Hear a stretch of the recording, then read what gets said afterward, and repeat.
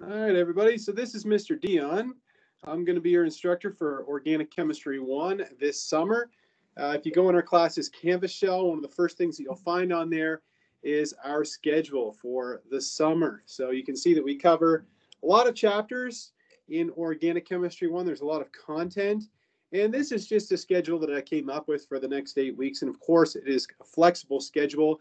So depending on when we finish chapters, I might finish a chapter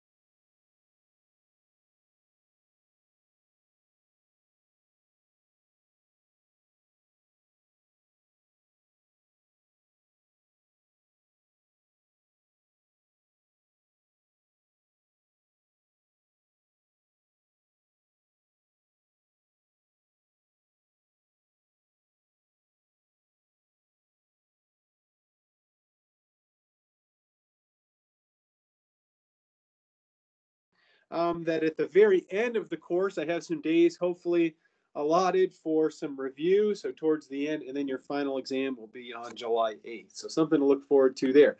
So the reason why we do a lot of quizzes in organic chemistry one as opposed to you know just a few exams is just because there is so much content to cover in organic chemistry one that uh, the powers that be at uh, UCCS have decided that it makes more sense for us to have quizzes. So we deal with smaller ranges or smaller volumes of content at a time that you're tested on. Okay, so that's our schedule. I would recommend printing this out, probably a couple copies of it, and posting it somewhere important, you know, somewhere that you're going to look a lot in your house. Maybe I have them on my wall in my office. You could post them, you know, maybe where you do the dishes or, you know, post them on the inside of the windshield of your car, someplace that you're going to look a lot so that you're always aware of when the quizzes are. So you don't ever have to ask, you know, when will the quiz be and when is the homework due and what chapter are we doing today because everything is covered in the schedule. All right, let's take a look at the syllabus. If you have your microphone on, if you could turn it off, that would be great. Uh, so this class runs on Monday, Tuesday, and Thursday. The R stands for Thursday. Um, we're going to have class from 8 to 11.30 a.m. It would probably be pretty tough for me to lecture for three and a half hours straight. So some days we might end lecture a little early. Some days we might take a break and we'll just kind of let that happen organically. No pun intended. now, hopefully you've all taken the time to read the syllabus as this isn't your first rodeo. You've all been university students for a while. Uh, and so historically, this class was taught face to face, you know, in a classroom, and I gave out paper quizzes and things like that. But on account of the pandemic, it's taught completely online this summer. So again, our, our lecture schedule is 8 to 11:30 a.m. on Monday, Tuesday, and Thursday from today up until July 8th, uh, which is the date of the final exam. I do my best to post the recordings of my lectures to my YouTube channel. There is no promise about that. Okay, there is um, you know, I, I can't 100% guarantee that, but I do my best to do that. Remember, this is a synchronous course. And so I lecture, you know, during the lecture time. So if you missed the lecture and I didn't post it to YouTube, well, then you're going to have to figure that out on your own. You'll have to read the book and figure out the content because I'm not obliged to post anything to my YouTube channel. Again, I try to, I try to, but that is my out for students who try to hold me accountable for something that I'm not really responsible for. And by really responsible, I mean not responsible for. So things that you're going to need to complete this class are a reliable internet connection, of course, for viewing live lectures. And if I post any pre-recorded content, you'll need it for that as well. You need a computer with a webcam and a microphone to take our quizzes that require Respondus Lockdown Browser and Respondus Monitor. And I'll talk more about those later on. And all Respondus lockdown browser and Respondus uh, lockdown monitor, or Respondus monitor rather, all they are is just a way to uh, mitigate cheating uh, amongst the student body. And so again, I'll talk more about that later. Uh, you're gonna need a printer for a few things this semester. And uh, you'll also need a means of scanning handwritten assignments. If I give any handwritten assignments now, you don't need to invest in a scanner, a big scanner from Staples or Amazon. I don't own one, and I'm the instructor of the course, but I do have an iPhone.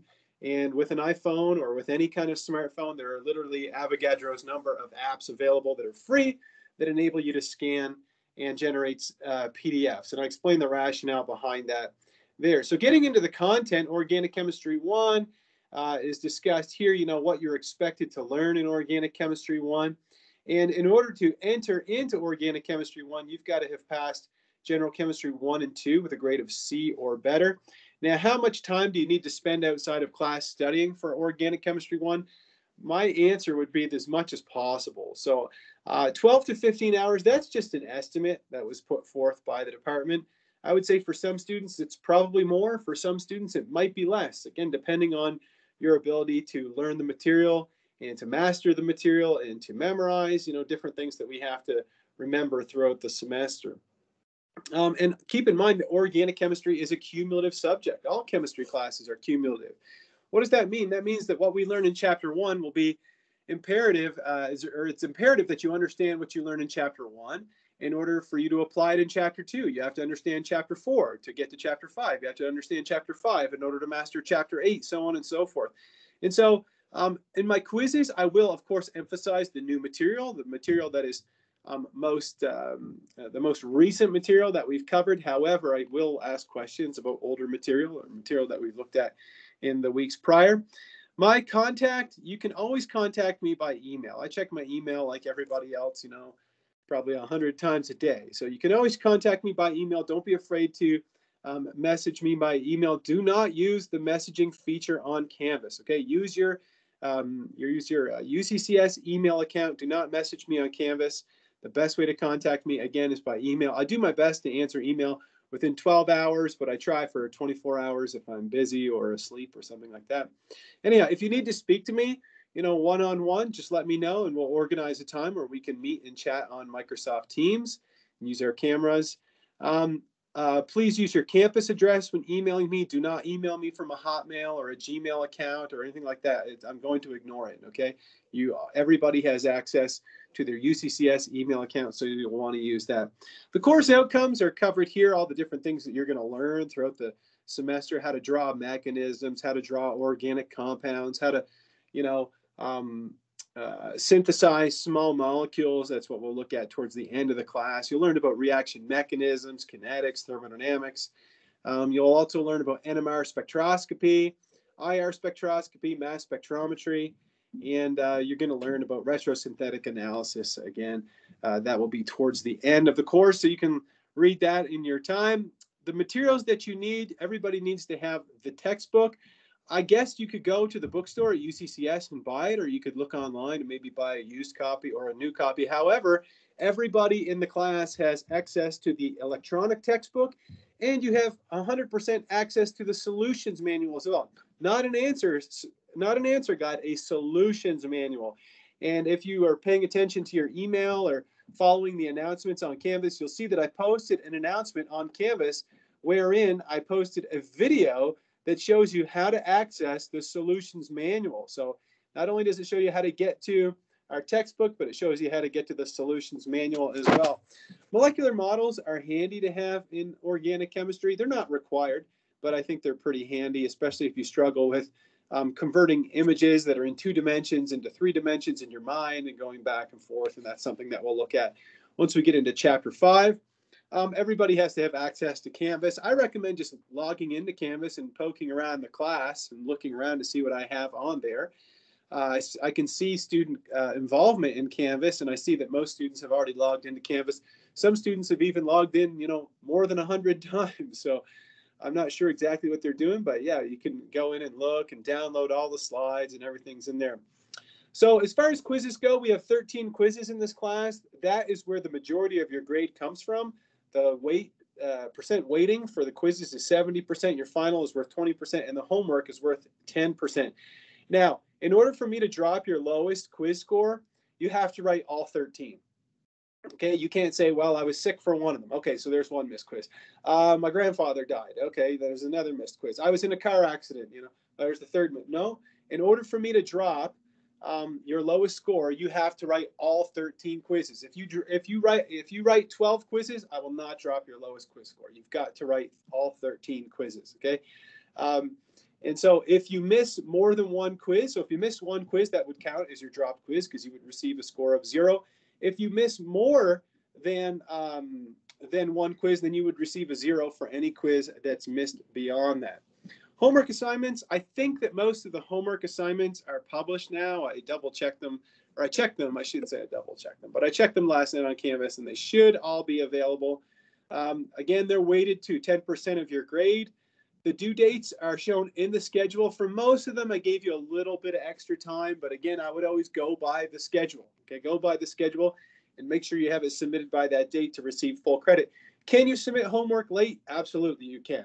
Okay, but the maximum score that you can get is 50%. So if you get 100%, you would get a 50%.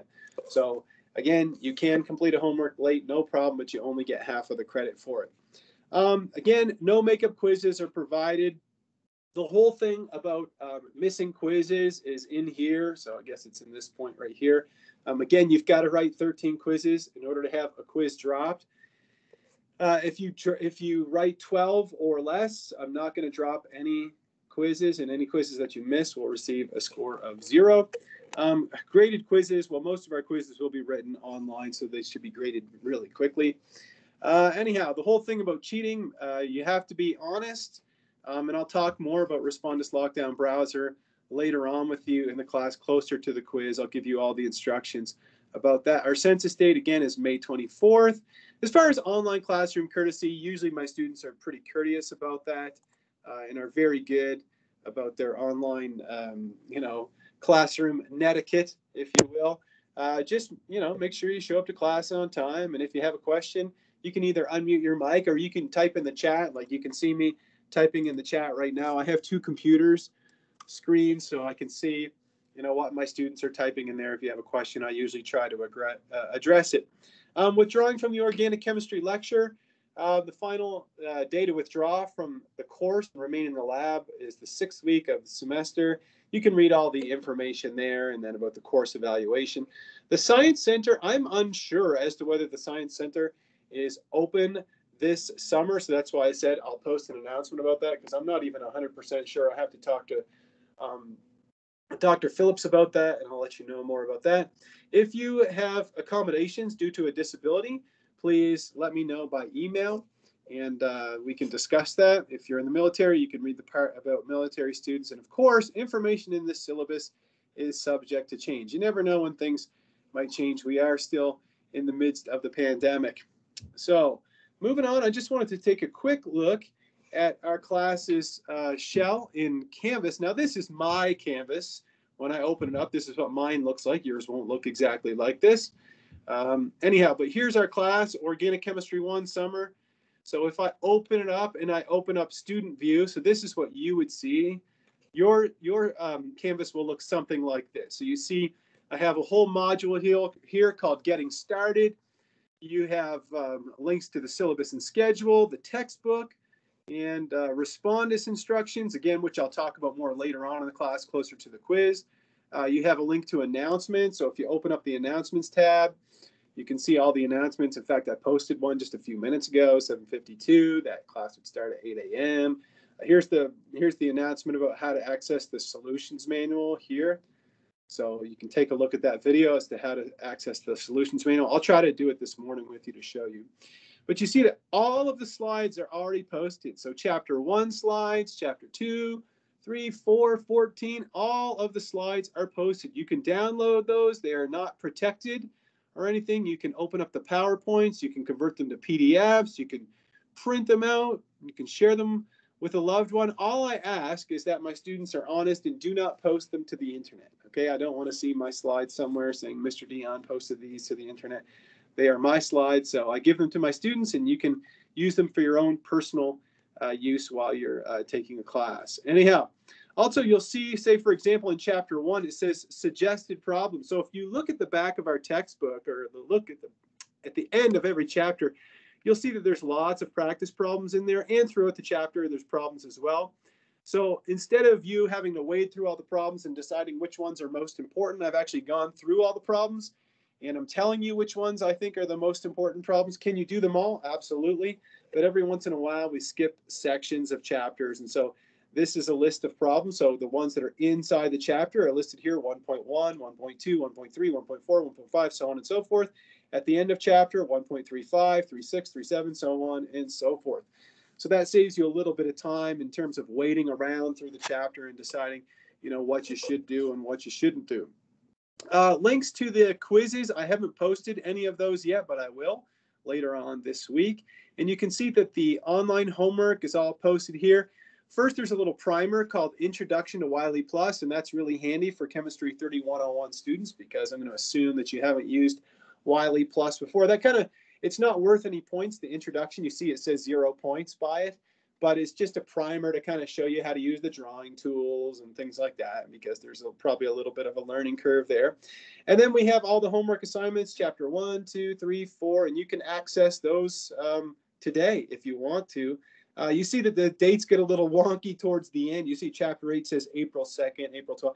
So I guess I'm good up until chapter 7 or so, but I'll have to adjust the dates for 8, 15, 9, and 10, but I'll do that. I'm sure that nobody's itching to do chapter 15 homework today on the first day. So again, you have the first, you know, seven homework assignments that are available, and I think that's enough for the first day of class. All right anyhow, so yeah, so again, I would recommend doing that introduction to Wiley Plus to familiarize yourself with Wiley Plus. Now I'm going to try something here. I'm going to exit student view. So leave student view because it won't work since I'm not a student. But you see where it says textbook in the getting started module. If I click on the Wiley Plus read, study, and practice, it opens up this tab and then I'm going to click on it. It opens it up and it brings you to the Wiley Plus page and you can access the book or you can read the book if you click on these links down here at the bottom. However, I don't ever use that.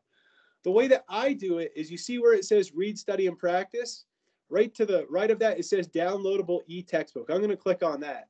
And this is where I would read the textbook from because this is the actual electronic textbook. Okay, so let it open up here. Just give it a second. So here is chapter one. So if you're reading chapter one, you can see I've highlighted a few things in my textbook. But anyhow, if you're reading chapter one, and let's say I assigned question 1.1, and I did, there's question 1.1. Draw all constitutional isomers with the following molecular formula. So say you want to try 1.1a. Where do you find the solution to that? You click on the number 1.1. So I'm going to click on that, and it opens up not the answers, it opens up probably the best solutions manual I've ever seen in my life. And I was a student for a long time and I've taught for a long time as well. So let's see if it works. Let's give it a second here. After I waxed poetic about it, it won't open. Just wait and see. Give it a second. Oh, I don't know why. I kind of figured this might happen if I tried to present. You know, there's only a few absolutes in life, three of them. Death is one, taxes is another. And when you try to show somebody something on a computer, the computer won't work. Like you can surf the internet all day, but if you try to show something to a friend, it won't work. So here you go. Here's the solutions manual. So it has not only just the answers, but the solutions, all solutions. So if you look at that video that I posted this morning, that's what it shows you is how to access this solutions manual. So here's the solutions manual. And besides the solutions, it also has like a study guide where it has all kinds of, you know, students will ask me, is there a summary of everything in this chapter? Well, here you go. It's a beautiful summary of everything that's learned in chapter one. Shows you all the different skill builders that there are in the textbook. So it's really great. All right. So there you go. So that's how you access the textbook again, the whole part about Orion and the videos and the solve problems, I never use those. Some students like to use these things like Orion and they think they're really great. If you want to use those, be my guest. I don't get involved in those. It's got nothing to do with, you know, what I do really. But um, yeah, I would recommend that as taking a look at it anyhow. All right. So let's see here. Stop presenting. All right. Are there any questions? any burning questions that I didn't answer? You can either unmute your mic or you could tap it, type it in the chat rather, if you have a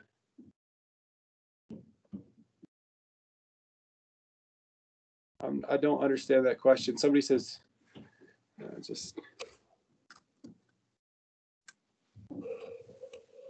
I'm, I don't, I don't even know what multi-load means. Maybe you could unmute your mic and ask me about that. There may be a lot of background noise. That's the reason why I didn't want to have like three dogs that are here, so they may start barking randomly. Um, the reason I'm asking that is you, I try to load the homework, but it won't let you load the homework and then also review anything else at the same time. No, it So won't. there- Yeah, Wiley only allows you to have one Wiley tab open at a time. So even me as an instructor, let's say I go in and try to edit a homework assignment, I can't have the textbook open at the same time. So with Wiley, everybody is only allowed to have one one tab open at a time. Okay, and then my next question is in regards to the actual homework. I haven't completed it and it's already been graded. I don't understand why it's doing that. So as you as you complete it, let's say you do, let's say there's a hundred questions and you do one question. It's going to grade that one question and it will upload that score to the grade book.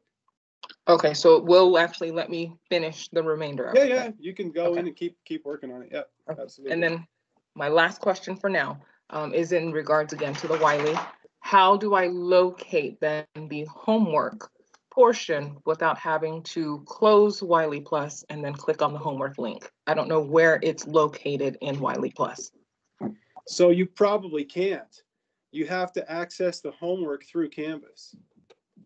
Right? It has to be accessed through Canvas because that way it's because the homework is linked to Canvas through into the gradebook.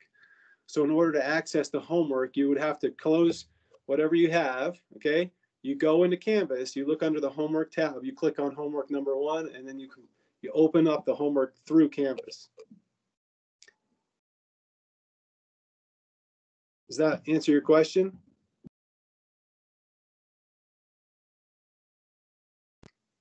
Okay. All right. Well, there we go. If there's any further questions about it, you know, you can shoot me an email and ask me anything that you want to know about um, about Wiley or technical aspects of the course. But yeah, everybody is only allowed to have one tab open. So I have the textbook open, let's say, and I want to go in and edit one of your assignments. Can't do it. Okay, it can only have one tab open at a time. All right. Well, let's get started. And before we do, I just want to mention one more thing. And I'm going to open up my slides first. So just give me a second to find them. All right. So let me get in here and share my screen.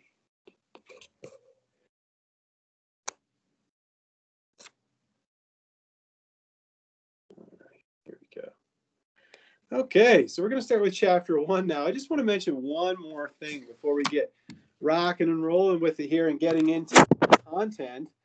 And again, you can see that chapter one is a review of things that you would have learned in general chemistry, mostly in general chemistry one. We talk a little bit about general chemistry two and organic chemistry, but mostly we stick to uh, general chemistry one. Anyhow, one thing that comes up a lot in organic chemistry, as I've taught the class many, many times, is that I have a lot of students who are interested in the medical field. And I'm going to talk about why organic chemistry, um, uh, what, how it's related to the medical field several times throughout the course. But um, you know, st- students will ask me, you know, why is organic chemistry such a good litmus test for students that want to enter into a medical school or maybe a, a dental school or a pharmacy, a college of pharmacy or something of that ilk? And again, I know that not all students are interested in that, and that's totally fine. But the reason why I would say is threefold. Okay. Number one is just the volume of material that's covered. We cover a huge volume of material. You're going to see that right away. And number two is the pace at which we cover it. Okay. So not only do we cover a lot of concepts, but we cover them quickly. There's not a lot of time to go back and, you know, rediscuss and, and, um, and, and go over everything and review and review and review. You have to kind of keep moving to cover all the content in organic chemistry. And number three is that you have to be able to remember it. Okay, remember it and apply it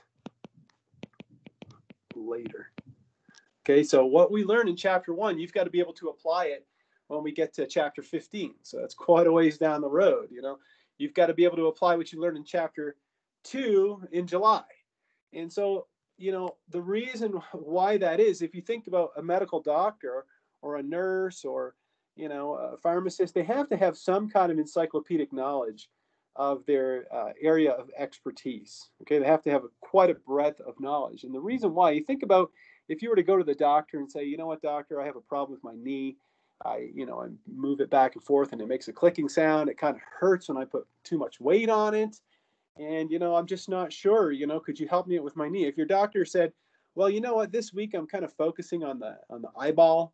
So I'm just thinking about eyeballs this week, and that's what I'm studying this week. You know, it wouldn't really be an acceptable answer. Now, I understand that nobody knows everything. That's impossible. However, the reason why organic chemistry makes such a good litmus test for things like medical schools is because, you know, you need to have those kind of skills that cover a lot of material quickly and you have to be able to remember it. Anyhow, so with that in mind, uh, let's get into chapter one. So uh, you're going to hear me say general chemistry one probably, you know, many, many times throughout this chapter and probably the, the first few chapters in organic chemistry because the first chapter is nothing but a review of what you learn in general chemistry. But again, it's mostly what you learn in general chemistry one, right? I know a lot of you took general chemistry two last semester where you talked about kinetics and thermodynamics and acids and bases and electrochemistry and all that good stuff. And those things are important. Of course, we're going to talk a little bit about reaction rates. We'll talk a little bit about thermodynamics and thermochemistry, of course. But uh, largely, we're going to focus on general chemistry one. So let's get into it here. Uh, section 1.1 Organic chemistry is the study of carbon containing molecules and their reactions. If you look at your periodic table, element number six is carbon. It's sandwiched in between boron and nitrogen. You think about general chemistry one, you spent an entire year discussing the entire periodic table. You learn the periodic trends, you learn about, you know, electron configuration and all those great things, electron affinity, ionization energy, and you were looking at the periodic table as a whole. All the different elements showed up, you know, at least probably at some point in your general chemistry classes. However, now you're going to take a whole year, you know, this uh, first, you know, uh, uh, organic chemistry one, in organic chemistry two, to discuss one element in the periodic table, just to talk about carbon. And there's a good reason for that. Okay. And we'll uncover that as we get into the content in organic chemistry one. Why do we have to spend so much time talking about this one element? We're going to talk about what happens to a molecule during a reaction. You know what happens in a reaction? Well, molecules collide. We break bonds, we make bonds in reactions. Here's a reaction taking place. You see these funny looking arrows here that are red. These are what we call curved arrows, and they represent the flow of two electrons. We're going to talk about those in detail later on in the class. But what's happening here is that you see that this arrow represents a bond being formed. So this is a bond being formed. And this curved arrow represents a bond being broken. So we're breaking a bond and we're making a bond simultaneously in this reaction here. And you know, one of the questions that we want to address in organic chemistry one is why do reactions like these even happen? And it takes two semesters to really figure that out. But one thing you're going to see in organic chemistry is that we spend most of our time focusing on electrons. So what did you learn about electrons, right? You learned the charge of an electron is negative. You learned about electron configuration, Lewis structure. So all of those things are going to be important in organic chemistry.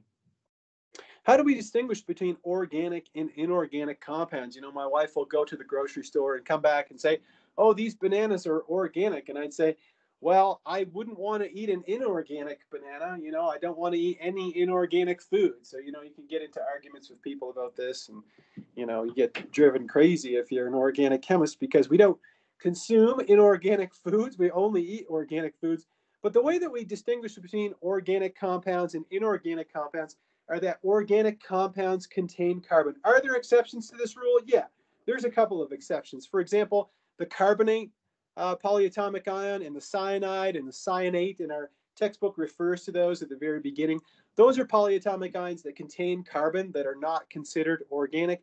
However, organic compounds generally are compounds that contain carbon atoms, very few exceptions.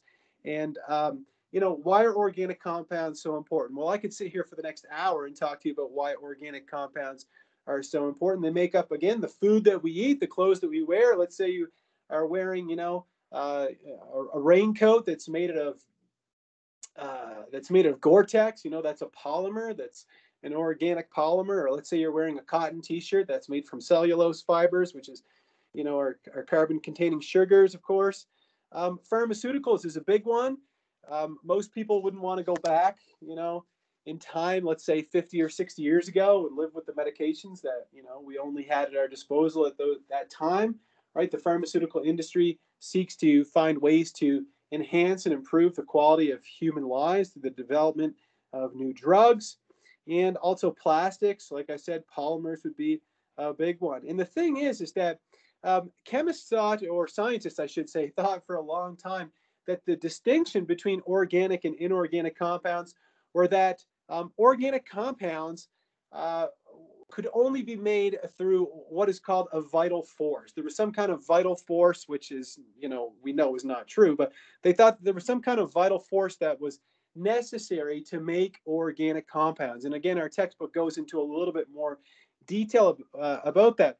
But what I think is most important is that the scientific community thought, well, there's no way that you can make an organic compound from inorganic starting materials. And Friedrich Wohler did an experiment in 1828 where he showed that you could take ammonium cyanate, which is an inorganic compound, it's just an inorganic salt that was well known, and he took it and he heated it up and he produced urea. And urea is an organic compound that had been isolated from the urine of uh, human beings and dogs. And so he said, I was able to make urea without the aid of dog or man. And this dealt a serious blow to the theory of vitalism. And then many more experiments were performed wherein scientists showed that they could, or scientists showed that they could take inorganic compounds and convert them into organic compounds. So kind of interesting there. And if we move on from there, we're going to talk about what's called structural theory. So structural theory, how are substances put together? In the mid 1800s, it says that it was first suggested that substances were defined by a specific arrangement of atoms. Right? If you go back to your general chemistry days and you talk about where does the word atom come from? You know, when I was a kid, I used to think, what if you took something like, I don't know, a rock, okay, and you cut it in half, then you took that half and you cut it in half, then you took that half and you cut it in half, and you kept cutting and cutting and cutting until you get down to the smallest bit. Well, the Greek philosopher Democritus thought that I had thought of that too, you know, way before I thought of it.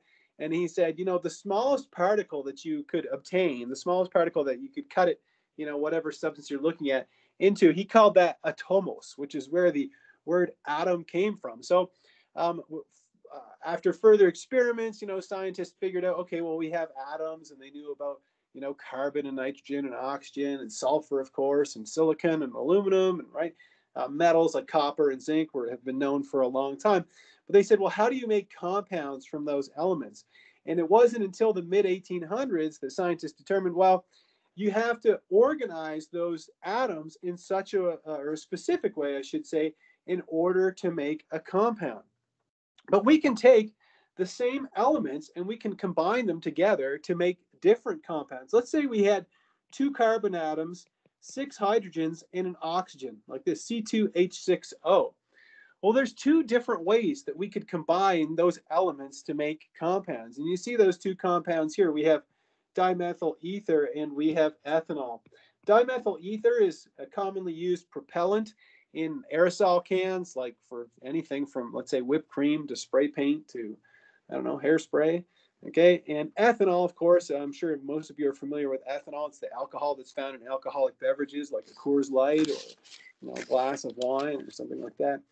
But although these two compounds are made out of the same elements, they're both made of two carbons, six hydrogens, and one oxygen. you see that they have very different physical properties, don't they? You see that all we have shown here are their boiling points, but one boils at minus 23 degrees Celsius. That means at a room temperature, it's a gas, whereas ethanol at room temperature is a liquid. Okay, you know, um, if and if you're like, oh, I'm not sure if I understand this, well, think about it this way. Let's say I sent everybody in the class to Home Depot, uh, and I'd have to give you, you know, several million million dollars in order for you to buy a few two by fours. You know, said everybody gets three sheets of plywood. You know, uh, you know, 100 two by fours, and I don't know what else, maybe a couple of stacks of shingles. Okay, build something. Well, we're all starting with the same content or the same starting materials, but we're making. We would probably, you know, maybe one person would make a chicken coop, and the other person might make a dog house, or I don't know what you could make a playhouse or something. Anyhow, but we could all make different things, and so that's the concept here. The constitution of these two compounds, dimethyl ether and ethanol, is the same in both cases. However, their structures are different and therefore their physical properties are different as well. So constitutional isomers, you have to know what constitutional isomers are in organic chemistry. And we'll look at we will look at several other types of isomers throughout this class. So besides constitutional isomers, we'll look at stereoisomers in chapter 5. Anyhow, um, atoms that bind to carbon. Well, lots of different atoms bind to carbon, things like nitrogen, oxygen, and hydrogen. The halogens, of course, other elements that aren't even listed on here. What about, could you form a carbon bond to sulfur? Absolutely. Silicon, right? Phosphorus, you know, and I could keep going from there. But that's one of the reasons why there are so many organic compounds, is because carbon can bind to so many different atoms, and also carbon can bind to other carbon atoms. So when looking at um, these elements, carbon, nitrogen, oxygen, hydrogen, and the halogens, the reason that we're you know really getting into these um, few elements right at the get-go is because these elements come up a lot in organic chemistry one. In fact, they're going to come up, you know, almost Avogadro's number of times. Generally speaking, carbon will always form four bonds. Okay, now there are, are there exceptions to this? Yes, when carbon has a positive charge, it will only have three bonds. When carbon has a negative charge, it will have three bonds in a lone pair. However, when carbon is uncharged, this is neutral, it's going to form four bonds. And we say that it's tetravalent. And you should have learned that in general chemistry one, and you should have think, talked about things like hybridization, and we'll review that in this chapter. Nitrogen generally forms three bonds. It usually, uh, sorry, three bonds in a lone pair, but we'll just go with the three bonds for now. Oxygen will always form two bonds, and hydrogen and the halogens will generally always form one bond. Now, for fluorine and hydrogen, there's no exception to that. Fluorine can only ever form one bond. Hydrogen can only ever form one bond. Yes, I, I, I studied general chemistry one. I know that there are exceptions to the rule once you get to the third period and beyond um, where we see that uh, elements chlorine, bromine, and iodine can expand their octets. We're not going to see any expanded octets in uh, in organic chemistry one, so you don't even have to think about that. But if you're wondering, you know, did I see examples of these kind of things in general chemistry one? Well, think about a compound like CO2. You should have seen the Lewis structure for carbon dioxide, and you see that the carbon has four bonds in carbon dioxide. What about a compound like ammonia, right? NH3 the nitrogen has three bonds. It also has a lone pair. What about water? The oxygen in water has two bonds and it has two lone pairs like that. You can see that the hydrogen only has one bond.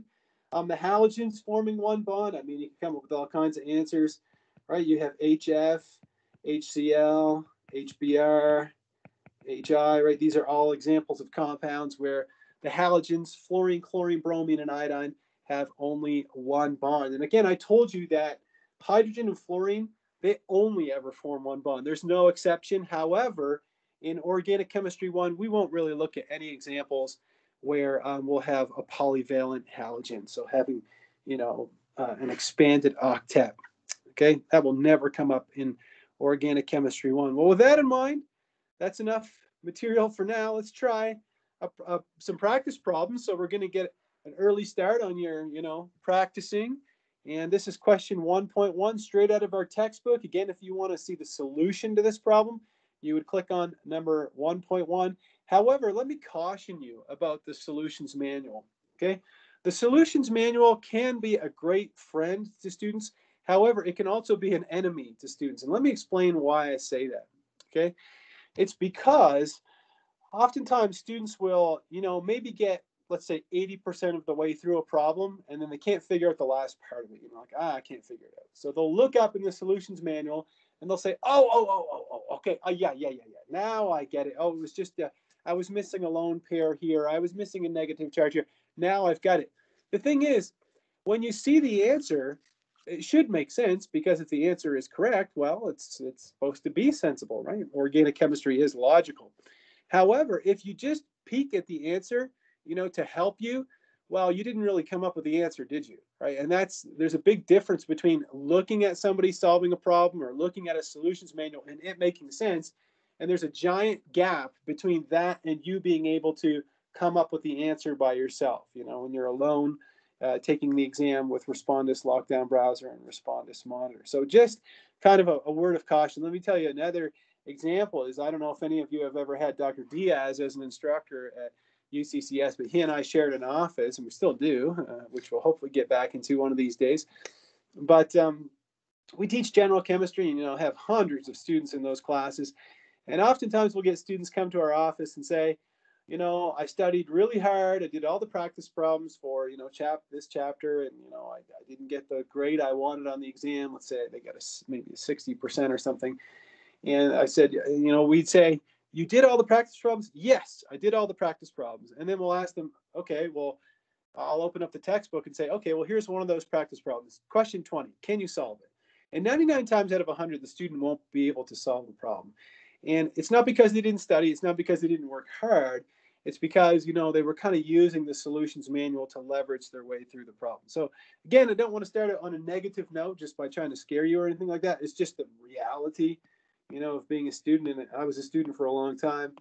Anyhow, let's take a look at the first question. 1.1a, we have C3H7Cl.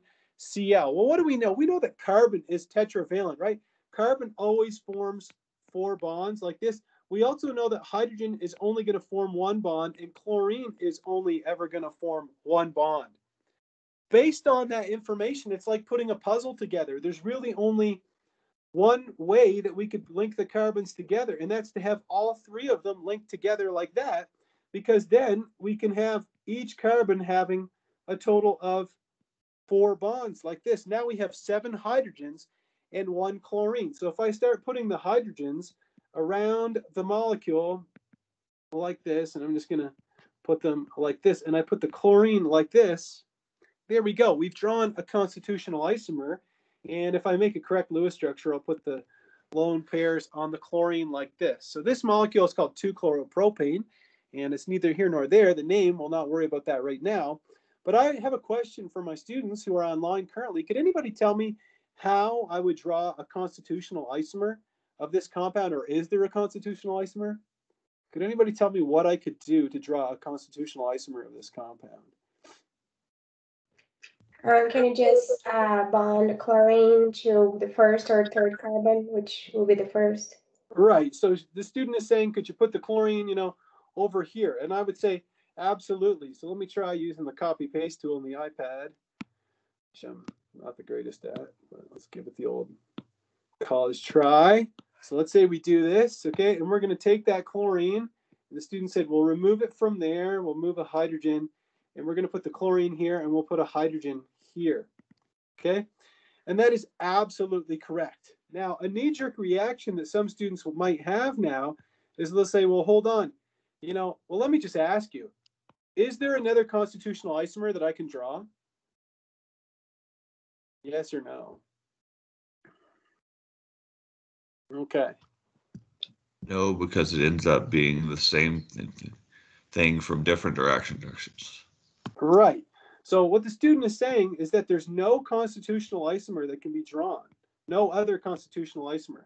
So again, it might be a knee-jerk reaction to say, well, I'll take that chlorine and I'll move it over here like this. However, if you do that, these two compounds are the exact same. Okay, these two compounds in the yellow circle are identical. If I number the carbons one, two, three, you can see that the chlorine is on the first carbon. If I number this one, one, two, three, you can see the chlorine is on the first carbon. So there is no difference between these compounds. Those two compounds are exactly the same. So let me get rid of some of this scratch here. Now, another knee-jerk reaction might be to say, well, what if I took the chlorine and I moved it down here, right, like this? And then I have a constitutional isomer here. You know, these two are constitutional. Those are not constitutional isomers of each other. Those two compounds are identical, right? Because you have free rotation around all sigma bonds. And so, in fact, these are the only two constitutional isomers that you can draw for this molecular formula.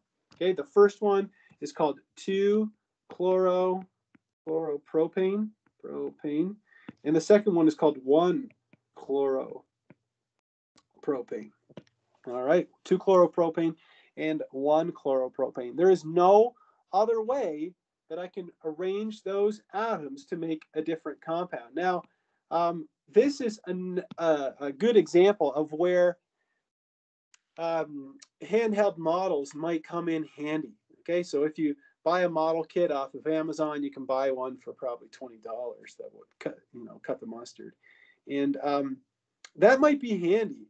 You know, if you're trying to figure out, well, why can't I connect these a different way? But these are the only two ways that I can connect these atoms to make two constitutional isomers, one and two, two chloropropane. Well, the next one is C4H10. So now I don't even have another atom, right? I only have four carbons and 10 hydrogens. But remember that carbon always forms four bonds, okay? And hydrogen can only ever form one bond, one possibility for the hydrogen.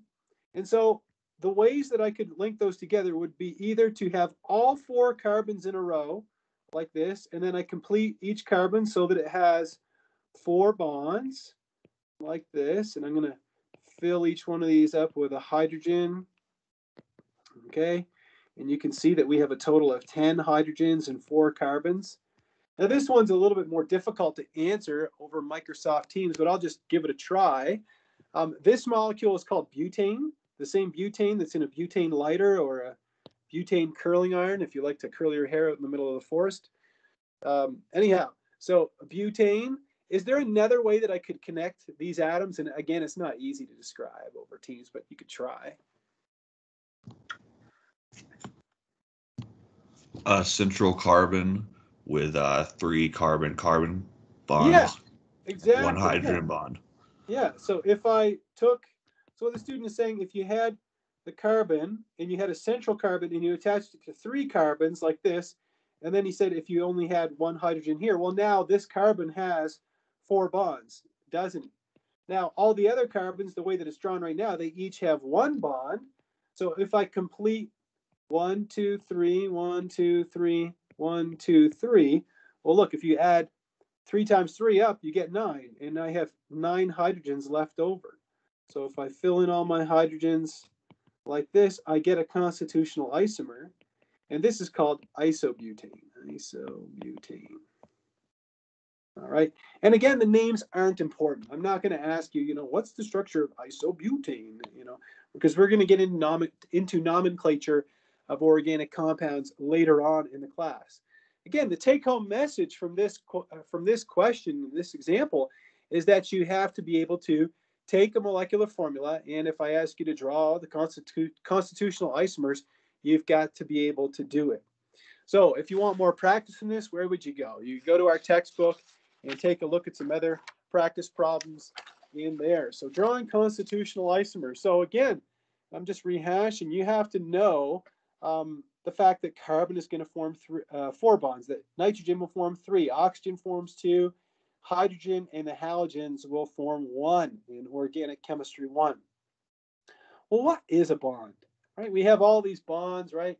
if I take the yellow pen here, right, all of these are covalent bonds, aren't they? Right? Everybody here knows the difference between covalent and ionic bonds. Well, what is uh, a bond, right? And I'm sure that you could all answer me and say, well, it's the sharing of electrons, you know, between atoms, okay? Because in general chemistry one, you would have learned about um, polar covalent bonds, non-polar covalent bonds, ionic bonds. Let's talk about how a covalent bond forms, right? The whole concept behind um, two atoms sharing electrons, right? Because in every one of the covalent bonds that I circled in the last slide, there was two electrons, right? There's two electrons in this bond. Any covalent bond has two electrons in it. Well, why do two atoms share their electrons to form a bond? There's got to be a reason, doesn't there? Yeah, absolutely. So let's say we had two hydrogen atoms that were infinitely far apart or very far apart from each other so that they're not interacting with each other at all, right? We see the internuclear distance is getting larger as we go this way, okay? And then on the y-axis, we, have energy. Well, there is an interaction between the two atoms as you bring them closer and closer, isn't there?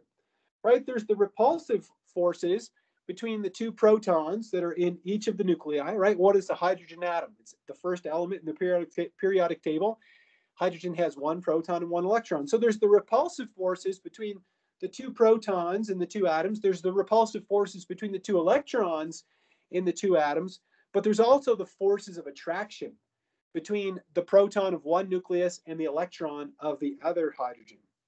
All right, so what happens as we bring these two hydrogen atoms closer and closer together is we start to see that the attractive forces are going to pull those atoms closer and closer together until they reach an energy minimum where the attractive forces are maximized and the repulsive forces are minimized. And that internuclear distance between the two hydrogens is measured to be 0.74 angstroms. The amount of energy that is released, and we see that the enthalpy is, you know, negative 436, and that means the energy was released when we brought them from here, which is zero on the energy scale, right? They released energy. Well, that um, amount of energy that's released is called the bond enthalpy, or the bond strength, is what we would call it. So the internuclear distance, 0.74 angstroms, represents that minimum of energy. It represents the maximum attraction between the two nuclei, okay, or between the two atoms, I should say. And that defines not only the internuclear distance, but it also defines the bond strength or the bond enthalpy. Now, notice if you were to take the two atoms and you start pushing them closer and closer together, is what's happening over here, right? They're getting closer and closer. Well, then the repulsive forces are going to increase and it's going to push the two atoms away. So that's what a bond is. Okay? That's what a covalent bond is. Well, you should all know that a proton has a positive one charge, an electron has a negative one charge. Protons reside inside the nucleus. You should also know what a neutron is, too. We don't spend a lot of time talking about isotopes until we get into NMR spectroscopy. Um, electrons uh, outside of the nucleus, you should know electron configuration, and we'll talk about that briefly uh, today. You should know what valence electrons are, right? Valence or electrons are the electrons that exist in the outermost shell. So let's say we looked at carbon, okay? We have carbon, and if I asked you to write out the electron configuration for carbon, you should be able to say it's 1s2, 2s2, 2p2. Well, which electrons are the valence electrons? Those are the outermost electrons, right? Those are the ones with the highest principal quantum number. That would be the 2s2 and the 2p2. So carbon has a total of four valence electrons.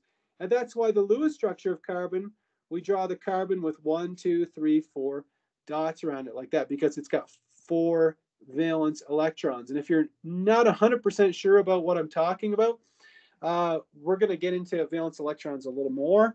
We'll talk about Lewis structures a little more. Uh, valence electrons are what we're going to spend basically the entire semester talking about, you know, when it comes to reactivity, because they're the ones that are involved in bonding, right? The inner or core electrons are not involved in bonding, so they will not be a major focus in organic chemistry one. Well, let's take a look at a slide that shows a periodic table, right? Here's carbon right here, but of course we're going to talk about other elements as well. Um, you can always figure out the number of valence electrons by analyzing the electron configuration. That's kind of a hard way of doing it. Or you can just look at the group number. As long as you know, you know, group 1A, 2A, 3A, 4A, 5A, 6A, 7A, and 8A, you can determine the number of valence electrons because the group number tells you the number of valence electrons, right? For example, nitrogen has five valence electrons, as does phosphorus and arsenic, right? Um, oxygen has six valence electrons because it's in group 6A. The halogens all have seven valence electrons. The noble gases all have eight valence electrons with the exception of helium, which only has two because helium is in the first period, which only has the s orbital available to it. So it's only got two. But if you go to neon, for example, neon has a complete octet, and we'll talk a little bit more about the octet rule later on. The transition metals, you know, if you're wondering, you know, will transition metals come up in organic chemistry? A little bit, a little bit. More so in organic chemistry two, I would say. But uh, they might come up from time to time, you know, especially if we're talking about ionic compounds. Uh, uh, we might bring up a transition metal now and again in a reagent or something like that later on in the class. Now, with respect to Lewis structures, in order for for a student to master organic chemistry, she or he has to be a master of Lewis structures. They're so important. They come up constantly in organic chemistry one. They come up constantly in organic chemistry two. So much so that uh, even if students are usually shaky or just find Lewis structures a little challenging at first, usually students will master it. You know, they will master it because they come up so much that eventually you get kind of sick of drawing them and you're like, yeah, yeah, I know how this is going to go together. But how do we draw a Lewis structure? And we get some practice in that when we put the constitutional isomers together. We're going to use Lewis dot symbols to represent the valence electrons of each atom. And I showed you how to do that on the last uh, slide with the periodic table. And then we're going to put the atoms together in such a way that they share pairs of electrons to make octets. Now, obviously, hydrogen does not make an octet, right? Hydrogen makes a duet, right? Hydrogen only needs two electrons. And why? Because hydrogen is in the first period, right? It only has the s electrons available to it. So if you have just a 1s orbital, what's the maximum number of electrons you can put in an s orbital? It's 2, right? So let's say we have NH3, ammonia. Okay, and that's a name you should have learned in General Chemistry 1. Ammonia, it's found in Windex and many other household cleaners. Well, nitrogen is in group 5A, so it has five valence electrons. Hydrogen is in group 1A, it's got one valence electron. Well, how would I put those together in such a way that the nitrogen has a complete octet and the hydrogen has a complete duet? Well, you can see that it's kind of manifested itself here on the slide. But we will never draw Lewis structures as is shown here. Now, depending on where you did your general chemistry, I'm going to assume that most students did it uh, or took general chemistry at UCCS, but not everybody. And if you didn't, we will never draw a Lewis structure this way. Okay, we would always draw a Lewis structure like this, where covalent bonds are represented by a line. Okay, and then unpaired electrons will be represented as dots. So if we look at the Lewis dot symbol of ammonia, right, there's two electrons here, there's two electrons in here. There's two electrons in that bond as well. So all the bonds have two electrons. Now, how many electrons are surrounding the nitrogen? Every bond represents two electrons that are shared, right? So it means the nitrogen is surrounded by one, two, three, four, five, six, seven, eight electrons. So the nitrogen has a complete octet. So the nitrogen is perfectly happy. What about the hydrogen? The hydrogen has one bond attached to it, so it is surrounded by two electrons, and it only needs two to complete its duet. All right, so there you go. So there's a Lewis structure for ammonia. With that in mind, um, how do we put our Lewis dot structures together, our Lewis structures? We draw the individual atoms, okay, using dots to represent the valence electrons, and then we put them together so that they share electrons to make complete octets. Let me see here. I don't have a lot of space to solve these, but let's give these ones a try. So when I teach general chemistry, the way that I do this with my students is I say the first thing we're going to do is we're going to tally up the total number of valence electrons in this compound. So we have C2H4. Could anybody tell me how many total valence electrons we have in C2H4? And it's not a trick question. One thing you'll find about me is I don't like trick questions. So it's just an honest question. Thanks, Bruna. Exactly. There's 12 valence electrons in C2H4. If you're wondering, how did he figure that out? Well, carbon is in group 4A. There's two carbons. So four valence electrons times two, right? Hydrogen is in group 1A. It's got one valence electron, and there's four of those. So four times two is eight. plus 4 gives me 12 valence electrons.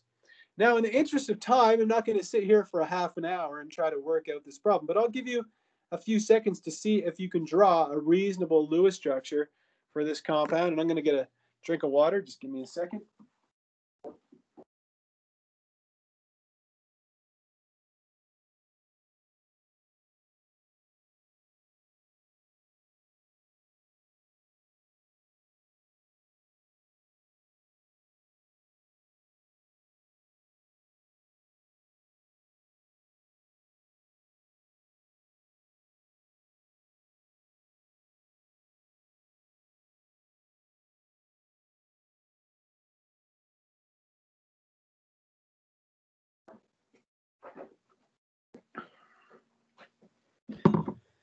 All right, so with those 12 valence electrons, the carbons have to be bound together, don't they? Right, the carbons must be bound together. Now, I've got if I've got two carbons connected by a sigma bond, all I've used up is two electrons. So that means I have 10 electrons left. Well, what if I put two hydrogens on each of these? Do either of the carbons in the structure that I have drawn, do either of them have a complete octet? Thanks, Allison. It's a big no, isn't it, right? We don't have a complete octet here for either carbon. The hydrogens have complete duets, but if you look at, let's say this carbon here, it's surrounded by what? One, two, three, four, five, six electrons. So if you six, seven, eight, nine, ten electrons, that means I have two electrons left where would I put those two electrons so that my carbons have a complete uh, a complete octet? Could anybody tell me what I would do next? Double bond to carbon? Yeah, absolutely. I'd put a double bond between the two carbons like this. clean up my double bond like that. There we go. Now each of the carbons has a complete octet. I've used up all 12 electrons and I've made a molecule. So this is called ethylene. So ethylene which is the same thing as ethene, if you're the kind of person that wants to Google it or something. So ethylene is actually used as a fruit ripener. Um, anyhow, so how many electrons have I used up? I've got 1, 2, 3, 4, 5, 6, 7, 8, 9, 10, 11, 12. So we've got a total of 12 electrons used up. Both carbons have complete octets, right? This carbon has one, two, three, four, five, six, seven, eight. The other electron, or the other carbon rather, has the same number of electrons, so everybody's happy. If I look at the next one, CH3OH, this is called a condensed molecular formula. If I can find it again, where was it? It's down here. CH3OH. This con condensed molecular formula. It tells you a little bit about the connectivity. It tells you that the carbon is bound to the three hydrogens, and then you have the oxygen, then you have the hydrogen attached, like kind of all in a row. And I'll show you what I mean. How many total valence electrons do we have here? We've got four plus four times one plus six. So that gives me eight plus six, which gives me a total of 14 valence electrons. Good. I think my students are faster than me. Okay. Well, how would I connect those together? Well, in the interest of time, just kind of do it quicker here, but you see that you have the carbon attached to the three hydrogens. So carbon attached to one, two, three hydrogens like this. Then you have the oxygen next door. Then you have the hydrogen bound to that oxygen like this. How many electrons have I used up so far? One, two, three, four, five, six, seven, eight, nine, ten. Could anybody tell me where the last four electrons would go?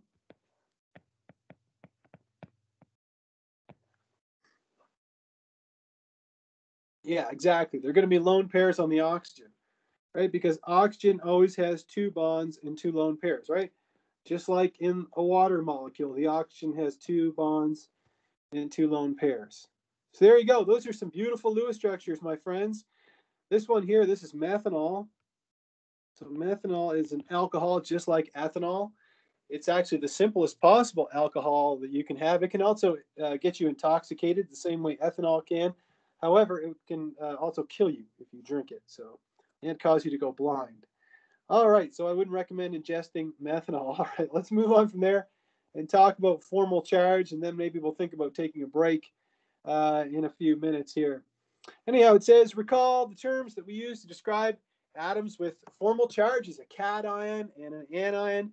All right, the way that I think about it is like this. If you have a cat ion, right, you get the positive charge, and if you have an in ion, you you get the negative charge. Kind of looks like a, maybe like a some type of anarchy symbol in there. Anyhow, so a cation and a, a cation and an anion, you have to know what those are. You've got to know how to calculate formal charge. It says here formal charge, the number of valence electrons, subtract the number of non-bonded plus the number of bonds. I get a much easier way to do it than that. Uh, I like to think about it like this. Formal charge is equal to the number of valence electrons, subtract the number of sticks, okay? Subtract the number of dots, okay? So you just take sticks are bonds and dots are unpaired electrons. So if you take a look at this one here, ALH4, well, all of the hydrogens, right? Hydrogen has one valence electron, subtract one stick. It's got no dots, so that means that all the hydrogens have a formal charge of zero. However, the aluminum, could anybody tell me what the formal charge on the aluminum is? And it's not a trick.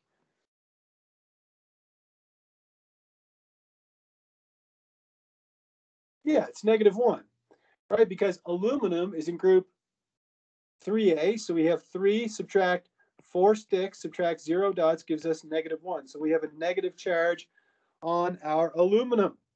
The next one is hydronium, right? You should have seen hydronium a thousand times at least in uh, uh, general chemistry one and two. So the hydrogens, the same thing.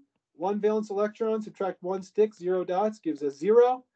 For the oxygen, right, we have six valence electrons, subtract six, or sorry, three sticks, subtract two dots, which gives you plus one. So we have a positive charge there. Thanks, Jessica. Uh, next, we have, this is called dimethylamide. It's a, it's a polyatomic ion, and I'll show you why in a second. I'll just ask my students, can anybody identify the charge in C, or just tell me where it would be and on one atom?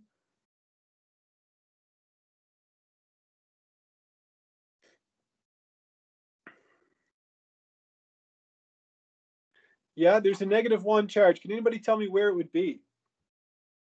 Yeah, exactly. There's a negative one charge on the nitrogen, right? Why?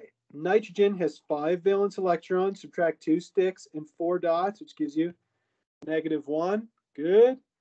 Is there another one? Come on. Yeah, there's one more here. So this is a protonated formaldehyde molecule. Could anybody tell me where the formal charge would be in here and what it might be?